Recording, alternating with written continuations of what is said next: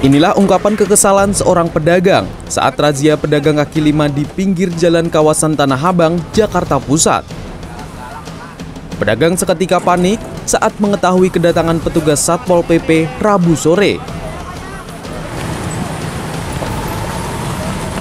Sementara seorang pedagang buah dengan secepat kilat berupaya memindahkan barang dagangannya agar tak diangkut. Petugas yang tak mau kehilangan buruannya berupaya mengejar PKL hingga terjadi aksi tarik-menarik barang dagangan.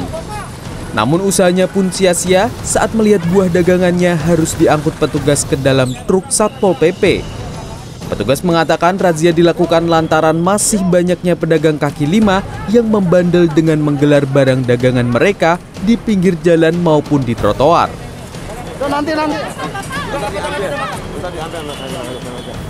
Himbau kepada pada pedagang yang masih membandel makan trotoar maupun badan jalan mau tidak mau yang sudah membandel kami akan tindak.